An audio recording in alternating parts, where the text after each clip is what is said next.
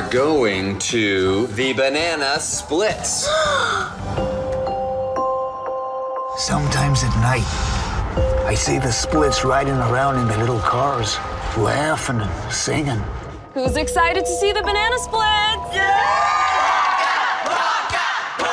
Rebecca, I'm canceling the show. What? Hey, kids, put on your ha- happiest faces because the Banana Split Show is about to begin.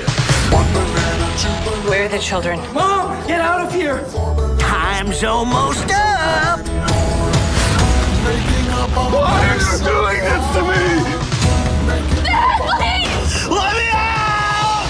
Now the show can go on forever and ever and ever. Come on, you fuzzy son of a. I just really want your brother's birthday to be perfect.